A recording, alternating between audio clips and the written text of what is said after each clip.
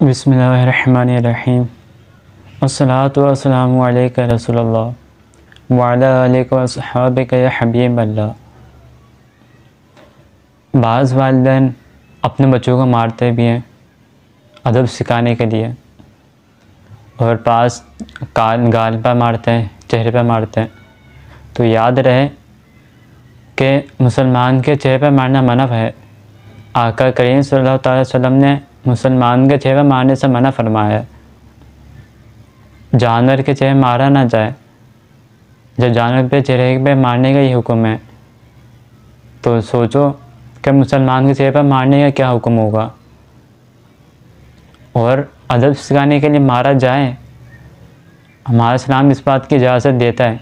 मगर इस बात की इजाज़त तो नहीं है कि इतनी तेज़ मारा जाए, कि जिसम को परेशान पड़ जाए।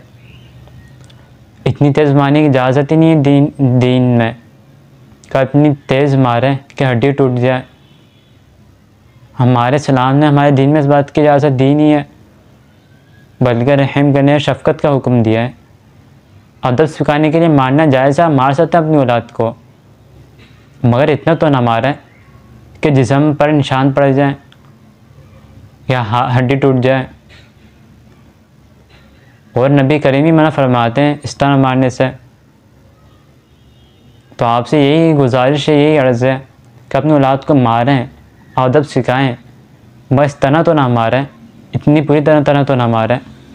वो ख़ास तौर पर चेहरे पर मारने मना फरमाया सख्ती से मना फरमाया चेहरे पर मारने से।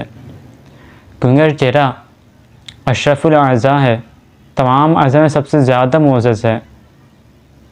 क्योंकि जब चेहरे पर मारा जाता है तो उससे आँख पर भी नुकसान पहुँच सकता है। आप चेहरे पर मारेंगे, निशान पड़ेगा तो तो ज़ाहिर भी होता है, नज़र भी आता है, चेहरे पर चलता है। तो चेहरे मारने से इसलिए तो मैंने फरमाया है कि चेहरे पर ना मारा जाए। अल्लाह पाक अमन की तोफ़ी अता करे। अगर आपको वीडियो अच्छी लगे तो मेरे चैनल को लाइक करें, सब्सक्राइब करें और शेयर करें।